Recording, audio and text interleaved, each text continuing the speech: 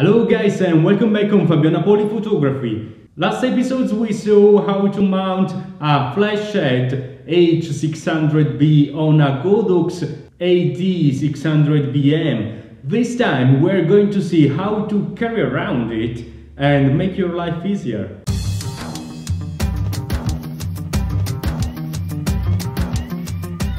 Let's unbox the product. There you are.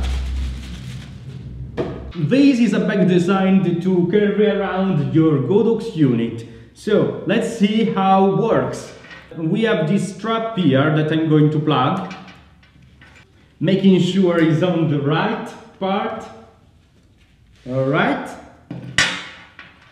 There are many holes here for the fans of this uh, unit because the unit is provided with fans for the overheat. Those grids here will keep this unit on the right temperature. Uh, we have all these straps that, that are meant for the easy access of the unit.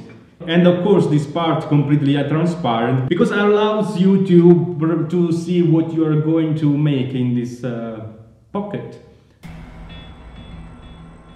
the topper zip to close it and another strap to place the flash head.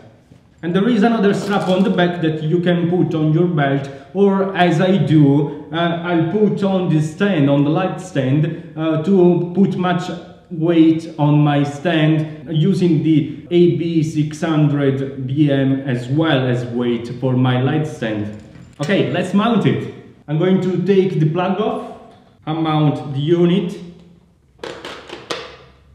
turn the handle in the opposite way of fans, keep it straight on the body of Godox AD600BM and in.